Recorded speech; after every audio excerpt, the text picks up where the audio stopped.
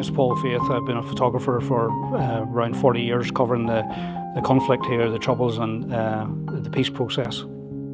My name is Amanda Ferguson and I'm a freelance Northern Ireland correspondent and Ireland stringer and I'm here today in historic Royal Palace's Hillsborough Castle. Paul, talk to me a little bit about why you wanted to be a journalist. Well, uh, I grew up in Ballymena and uh, I worked for the local paper. Uh, I was drawn to the troubles and the conflict going home at night. I'd been doing check presentations and uh, school openings and stuff like that there, but it, I wasn't cut out for it. I was cut out for something different. Um, and home at night, look at the TV, watch the troubles unfolding in Belfast, uh, you know, the mayhem that was going on. I was drawn to it and that was my calling. I felt that I needed to be there and cover and you started out whenever you were 17 and you've been a journalist now for 40 years. You've uh, seen every twist and turn of the, the history of this place. Uh, what was your sort of daily bread and butter activity uh, pre-1998, pre-Good Friday Agreement? What was the sort of events that you would have been covering? Well, at that particular time, I would, would be described as a hard news photographer. I've been working for uh, Pacemaker Press International. You know, at times it was so busy, uh, stories were merging into each other and you didn't know what funeral you were going to, who had been killed or whatever. I mean, it was some, it was, there was awful times at that particular time. And you were, excuse me, and you were in the thick of it, you know, up front, eyeballing people in difficult situations. But you learned to cut your craft pretty quickly in those days. If you made a mistake one day, you learned from that and it would have popped up again, you know, another scenario. And as we were approaching the, the ceasefires and we were approaching the, the Good Friday Agreement, what was the sort of mood at the time? You know, I, I was 18 uh, the year the Good Friday Agreement was signed and I was heading off to university, but you would have been a, a young man in your early 30s with a young family. What, what was life like for you at that time? Well, it was, it, it was strange because, you know, I was enjoying covering the conflict as a news photographer but we knew there was talks going on, and we knew that uh, you know the government had been talking to uh, Sinn Féin and the IRA, uh, and the possibility of a peace deal coming up. You know, the Good Friday Agreement. It was a we had a young family then, myself and my wife, and it was difficult. Um, you know, even to the point when we were when we had kids, we were we didn't know how. We knew we wanted to call them, but we were worried about picking a Catholic or a Protestant name because I'd been to shootings where sectarian killings happened just because a person's name sounded Catholic or Protestant. There was dilemmas like that. So when the Good Friday Agreement was was coming up and the talks were going on, um, and the referendum, you know, I was sort of worried selfishly. This was my job. You know, I was covering the troubles, and if that all went away, what was I going to do? You know, but you know, we looked at it, and you know, there, there was time for change, and we just couldn't keep going on killing people day in day out.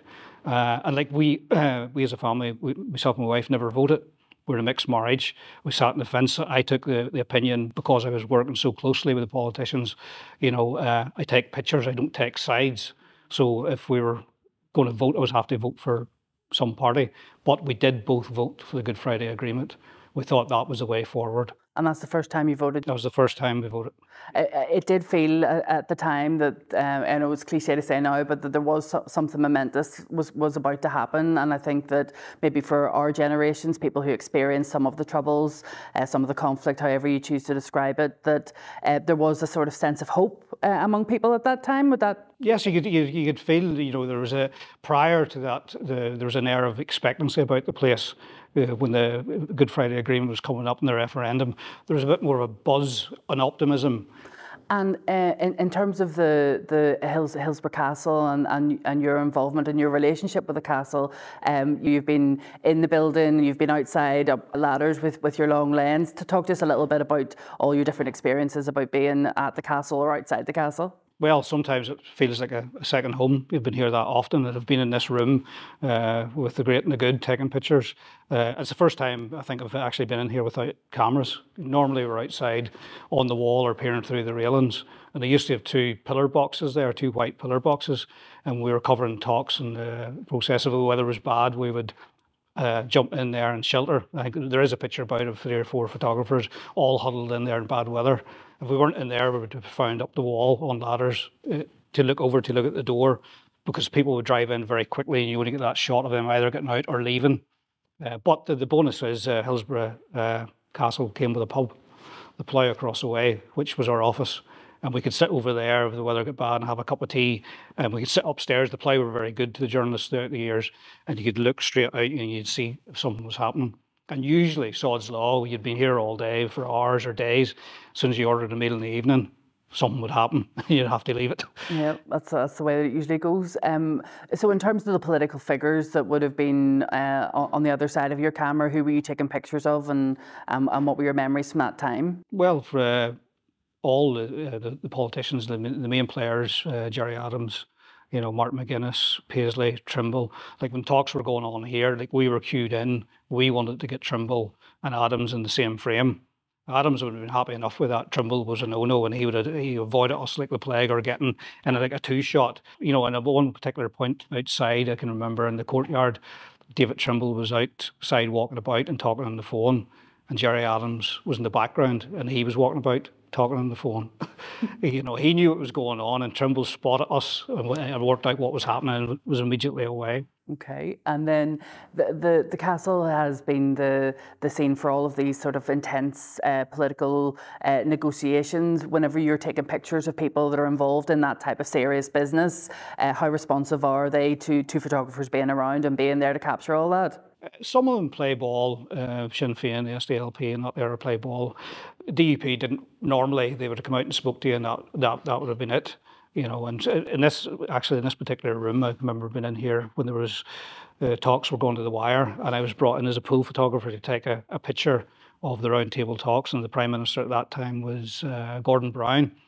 Literally, you get about 10, 15 seconds from that door to here Gerry Adams, Mark McGuinness sitting here, the rest of the players and the Prime Minister was sitting there. And I literally had to grab the Prime Minister on the shoulder and say, Prime Minister, can you turn around? You know, on the way out, the, the officials went, I can't believe you've done that. I said, we're going to get nothing. So you had to get a shot, didn't yeah, you? Yeah, I had to get a picture. And, you know, they, they once you're in the room, you've got to do it quickly. And they, they knew I would uh, deliver the goods. And at the time of the signing of the Good Friday Agreement, uh, where were you when the agreement was pulled together? What were you doing? Well, in my wisdom, uh, I had it booked off. so I was away. I think I was away with my wife and the uh, and the kids. We were up around White Park Bay. It was a big picture, but there was bigger pictures to come down the line that I'd been involved in as a process developed and moved on throughout the years. From then, I joined PA a year after the Good Friday, and I was their chief photographer in Ireland. Uh, and the doors just opened, and I got all the big gigs, uh, usually on my own. Like I'd been to Cuba there with Gerry Adams. That was a, a, big story at the time. I also, when uh, David Trimble and Seamus Mallon went to the States to meet the president, I was there as well. I was in the White House in the Oval Office as they met him, which was great.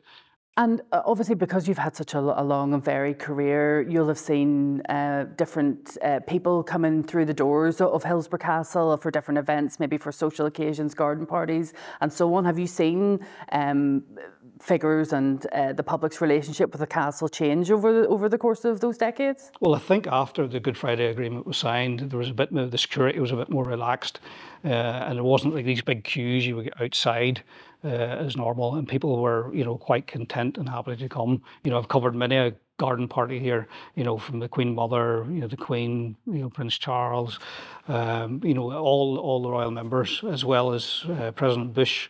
When he arrived here, I was here outside photographing him at the door. You know, it was a nice atmosphere. It's a lovely, it's a lovely place. You know, it's nice to have been out there in close contact you know, I did finally get a, an invite to a garden party, uh, but I couldn't go because I was working. can, can we talk a little bit about what it's like being on the other side of a camera? Because over the years, you've obviously had to photograph some pretty traumatic stuff. How do you deal with that as a, as a human, as an individual, whether it be a long day waiting at the, the gates of Hillsborough Castle or whether you're photographing um, death and uh, you know the worst, um, most intimate details of people's lives? How do you process that? Well, at times you sort of live off your adrenaline. If it's a, a breaking story, if it's a bomb explosion, people injured, you know, shooting, bodies lying in the street, um, you, are working on a high. Uh, but uh, or a difficult situation, uh, you know, a riot where you know, stuff's been thrown at you, you know, from petrol bombs to blast bombs and whatnot, and you need to be on your game. But the camera, it's, it's like watching it on the wee screen. You know, you could be sitting at home on TV. That's the wee TV screen in front of my eye, and that's happening. And you know, I'm I'm detached from that. Uh, it's only maybe when you go back home again and you have a look, you watch the, the news in the evening, or you're back in the darkroom in the day when you were printing stuff and all, when it was digital. You can see, you know, how difficult and how dangerous those situations were. You know, I've been shot at, I've been uh, uh, lifted by loyalists and taken away. You know, I've been punched. You know, I've been arrested by the police undercover units uh, different times in my life and different stories. So it is is dodgy enough, you know. But I think I've come out the other end okay. And do you think that there's more of an understanding about the, the trauma that journalists can experience and photojournalists can experience? There's a maybe more an awareness of, of well-being now than there might have been at the start of your career and, and through those uh, sort of conflict years? Some of the stuff we would see and be involved in, you know, I could be in somebody's house maybe two hours after their loved one had been shot dead, dealing with the family you know, and the tears and the crying and the screaming where they would give a picture to be released to the paper. You know, that takes its toll on you, you know, for years. Uh, you know, being in difficult situations, grief at funerals, you know. Um, but one of the things I, you know, I don't know if it's a common denominator, but I noticed that a lot of uh, photographers fly fish. Now, fly fish is a solitary um, game, uh, game fishing. Uh, you go to the river and you're alone. The solitude, uh, uh, the quiet, and the peacefulness uh, is great. And it, maybe that's something you know. People who are involved in the conflict and covering the conflict, you know, that's their out, and they can go off and relax. It's a solitary uh, sport talk to us a little bit about the sort of access that you get as a journalist. Well, you get familiar with you know all the politicians and their press officers, and, and they know. And sometimes you say, guys, you know, we need to do a picture here. You know, can you can you go out there and you sort of walk towards us or something like that there? Uh, some of them can be a bit more awkward during the, one of the ongoing uh, talks. Uh, David Trimble was always an issue. Uh, he never really played ball with us. Uh, he always felt uncomfortable around photographers. Uh, and when he would into the talks in the morning up near Castle Buildings, he was always in the car. it was bulletproof, and we had to do car shots, as we call them. So he flash in through the window and he was in there, and you know it's it's pretty unnerving. You half a dozen photographers flashing at you through a screen. One of these days that happened again. Everybody else acknowledges going in. He didn't. He just got out of the car and walked straight in, back ahead. And his press officer at the time, David Kerr, came out and said, "Guys, Trimble doesn't like this." And I said, "David, we have to get him. It's the only way we can get him sitting in the car." I said, "I tell you what we'll do. We'll not photograph him through the car tomorrow." I says, "But he has to acknowledge us." I says, "So the next day."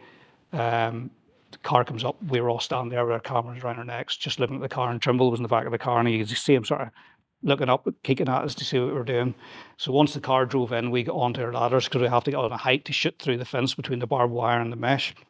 Car pulls up the bottom of the steps. Trimble gets out and he's walking up the steps, and we're all going, He's not going to play ball here. He's not doing this. And there's just like a wee shudder with him, and he stopped and turned around and looked at the cameras and big smile. We have no way. Job done.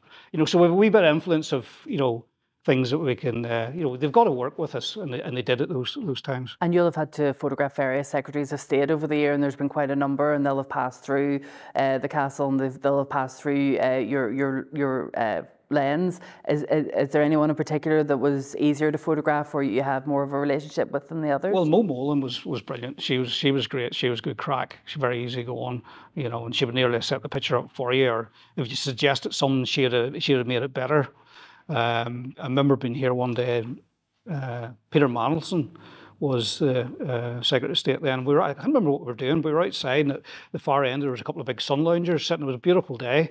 And uh, I was says, this is some spot here you have. And he says, oh, it's nice. Says, if you want to stay here the rest of the day, somebody is going ahead. Are there any particular images for you that stand out through all of the, the photographs that you've taken over the year that you're most proud of, or that you think, you know, wow, that's that's that's something to have captured? There's a couple come to mind. Um, you know, the Chuckle Brothers picture, Ian Paisley and Mark McGuinness, where they sat down and uh, shared power in Parliament buildings. Like nobody would have believed you'd have seen the pair of them together. You know, uh, anytime you were out with Paisley and years prior to that, it was Breck Sinn Féin. It was never, never, never. And there are these two guys are sitting sharing power. And the beauty about that picture was uh, there was only a couple of photographers in uh, Parliament buildings that day, and we were in the First Minister's office prior, and it was uh, Paisley, McGuinness, uh, Tony Blair, Bertie Ahern, and the Secretary of State. And those three were sitting on the sofa, and Paisley and McGuinness were in the two armchairs, and they brought in tea, and they were talking and laughing. And Blair was talking about going out of politics, and Paisley was laughing and saying he was coming into politics, you know, as a First Minister. Uh, so once they went out into the main hall and came down to address everybody, Tony Blair was speaking first, and I just knew, I could see the picture happening, that Paisley was going to start laughing Uh, so I get myself, and it was a very, very tight position. I had my back up against the front row with the knees, and sure as Tony Blair started to talk, Paisley started slapping, and McGuinness started laughing. And that's an historic picture of the Perm that travelled the world, and it's in the history books now. You know, how far we've moved forward, you know, in this country. Uh, um, yet again, one of the other ones, you, they're, they're easy enough pictures to take, to, to be there and actually get them, is the handshake with uh, Martin McGuinness and the Queen that was flagged up for a long time. It was going to happen. It wasn't going to happen. We were going to see it. It was going to be talked about. You know, I was told about two weeks prior that I was going to be involved in this from London. I think it was a safe pair of hands, and they knew it would be done and done properly. And it was the night before. I think the editor rang with Derek Henderson. He said, uh, "He says, I hope you're worried about this. I hope you don't sleep tonight." He says, "Why?" He said, "This is huge, Paul. This is huge." He says, "I'm halfway down a bottle of wine. I don't know what sort of tie I'm going to wear tomorrow." And he said, uh, "He says, look, you, you, do a good job. I says, it's a handshake, Derek. He says, the amount of handshakes I've done over the years, I can't be that difficult. And I got there the next day and security guys were sweeping, they would have recognized me. And he says, you doing this on your own? He says, I, no pressure on you then. He says, you're not got a second go at this. You know, he says, make sure you've got film on the camera. I says, they're digital now. He says, right, make sure the batteries are in it. Make sure your flash is on. And then I started to get panic. I started to check everything I shouldn't have done. And we set a line up beforehand because they'd, they'd come in upstairs. The Queen uh, and Peter Robinson took the lead, uh, looking at the, the, artwork, and uh, McGuinness was in the background with Prince Philip. Now, I didn't know whether we were going to get a handshake or not, but I knew this was the only room we were in, and I was getting worried, thinking, hang on a second, McGuinness is away in the back here. And he could see me, and I was going to McGuinness. Come closer because Peter Robinson was with the Queen, and sure enough, Martin moved up in beside the Queen, and they started to talk. And I thought, right, okay, we've got someone here definitely. And we went downstairs, and he says there's going to be a lineup on the way out because normally the handshake will be at the start, uh, and the handshake's going to happen here. So we set a few of the staff up, and we photographed them just to make sure it was right with a royal camera crew uh, and me, and that was it. And we had to work out. We don't want to be pushing and shoving here, so we walked through it with the other people first deputy first, and the rest of the entourage arrived down in. The Queen came out round the corner, shook Peter Robinson's hand, straight to Martin. It was the longest handshake I've ever seen. to the point I could actually look at the back of the car to make sure I was getting it all right. And it was perfect, absolutely perfect. And out through the door they went. And I walked up the stairs, descended. It It went global, as it would do. And uh, Martin McGuinness said, How was that? I said, Spot on. Do you think there's going to be images uh, of that uh, magnitude in the future for uh, future generations of Northern Ireland or Northern photographers to capture? I think one of the biggest images that'll come up next will be the peace walls if they ever come down. And they're still there. I was photographing them uh, the other day as part of a feature, you know, and that's always an indicator that we're not there yet. You know, if these walls can come down and there's harmony and the communities are living together, you know, that's an obvious one. It's become a tourist attraction now. That day after the Queen handshake, they were doing the over at Stormont. They were going on the tour, and I went to the hotel, Stormont Hotel, and it was packed. Everybody having their lunch, big screens up, the Queen, the handshake, and everybody was going. It's unbelievable. When that happened, everything. I took that.